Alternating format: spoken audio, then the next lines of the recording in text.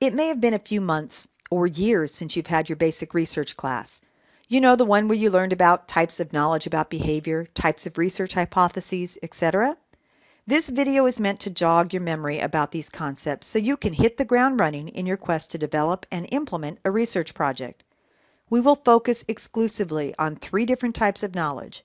An understanding of this concept should help you write better research questions and hypotheses, which is key to conducting good research. You'll likely recall that there are three types of knowledge about behavior, descriptive, predictive, and causal or understanding. When you want to describe behaviors by defining, classifying, or measuring them, you are interested in descriptive knowledge. For example, you want to know or want to describe the demographics of people who visit Disneyland, or what rides they find appealing, or the reasons they desire to visit the happiest place on earth. Although descriptive knowledge may be easier than the other two types of knowledge, it's not always as simple as it sounds, as you may have to really examine the behaviors to make sure you're not confusing those that are similar but different. For example, people say they go to Disneyland to have fun, but are they going for social reasons or to escape from everyday life? Predictive knowledge is similar to playing the odds. If I know you have small children at home, I can predict that you are likely to vacation at least once in Disneyland. It makes sense to me but first I need to confirm that such a pattern exists, that there is a relationship between the presence of small children at home and the likelihood of visiting Disneyland. Now having young children does not cause you to visit Disneyland, but if there is indeed such a correlation, I can make a prediction based upon that relationship. But I wonder, what does cause people to visit Disneyland? Really establishing causation is dramatically different than knowing that a correlation exists between two variables. But if I get a really good handle on it, and I'm in Disney's marketing department, then that would make me a very hot commodity indeed. For example, does fabulous weather cause people to visit Disneyland in greater numbers? If so, if I can figure out how to influence the weather, I could influence attendance. Or if I could affect the economy, would that cause an increase in spending at the park? And marketers always want to establish a causal link between their advertising campaign and increased attendance. Let's move away from the Disneyland example and take another look at descriptive knowledge, where some claim is where all knowledge starts. Remember that descriptive knowledge is describing behaviors by defining, classifying, and or measuring them, often requiring discriminating between similar behaviors. So let's use social anxiety as an example, a condition that, according to the Anxiety and Depression Association of America, affects about 7% of the population. This is an example of descriptive knowledge. We can quantitatively describe a behavior. But remember that we may need to delve deeper to discriminate between similar behaviors.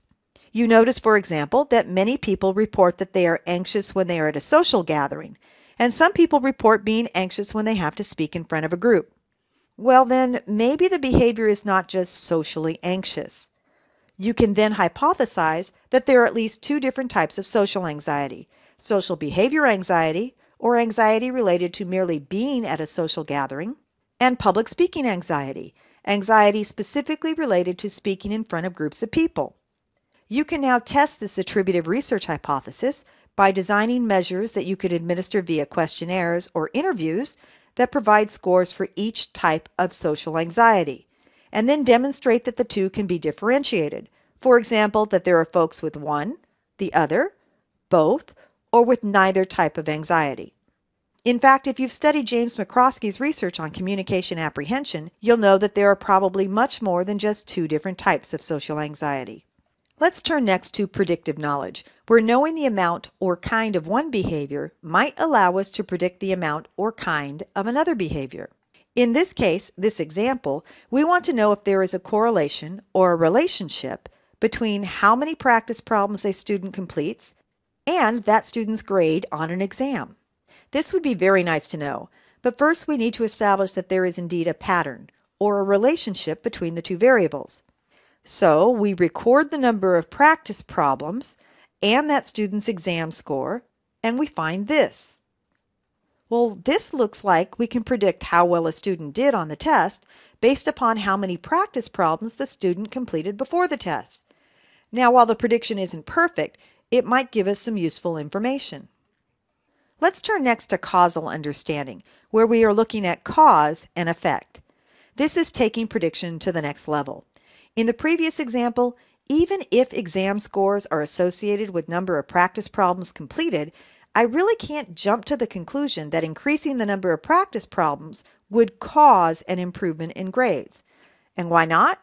Well, what if those students who already do well on exams are dedicated enough to do all the practice problems? They may have done well on the test, even if they hadn't done all the homework. Recall that causal knowledge is understanding which behaviors have a causal relationship so that you can manipulate the cause to produce a change. Remember, the cause must come before the effect. Look at these examples, assuming that you've already established a relationship between two variables. Now we've talked about this first one, percentage on the exam, and the number of practice problems. The assumption is that the number of practice problems completed occurred before the test score. So the number of practice problems might be the cause affecting the resulting test score. How about the amount of therapy a patient may have and the change in depression levels? You've got it. The amount of therapy would be the cause that would result in a change in depression. And a final one, a student's score on the quantitative section of the GRE, the graduate record exam, and the number of math classes a student has taken. The number of math classes could be the cause that could affect the GRE quantitative score. And remember that just because two behaviors are related doesn't mean that they are causally related. Perhaps an alternative cause may exist. A change in a person's life situation may cause a change in depression and not the amount of therapy received. Just a quick test to see if you can correctly identify the types of knowledge using the homework and exam score example. I want to know if I can anticipate students' score on the first exam from performance on their homework assignments. Would that be descriptive, predictive, or causal? I want to construct a score that indicates how well each student prepared for exam 1. What type of knowledge would that be? And I want to know whether I can improve your scores on exam 1 by increasing the number of homework assignments I give you. What do you think here? Well, how did you do? I don't know if I can emphasize this enough, but be careful of confusing association or correlation with causality. There's a wonderful Pickles comic by Brian Crane, which I can't show you for copyright reasons. A grandfather is eating breakfast, and his grandson asks curiously, What's that stuff, Grandpa? His grandfather answers, Shredded wheat. You want some? His grandson replies, Won't it make me old? Just because two behaviors are related doesn't mean that either one is the cause of the other. Another example is that height and weight are strongly related in adults. People who are taller tend to carry more weight than people who are short. I'm short, and like many short people, really wish I were taller. So should you advise me to gain weight in order to increase my height? Perhaps the most famous example is the relationship between violent crime and ice cream sales, documented multiple times. As ice cream sales increase, so does the number of violent crimes, including homicide.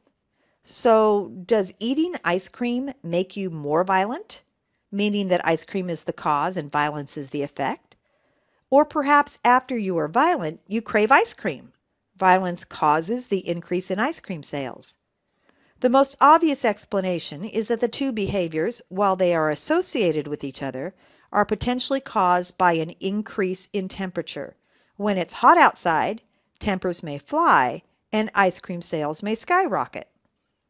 Expand this logic to other areas, determining if a relationship exists that would allow you to make predictions or if you can really establish a cause and effect relationship.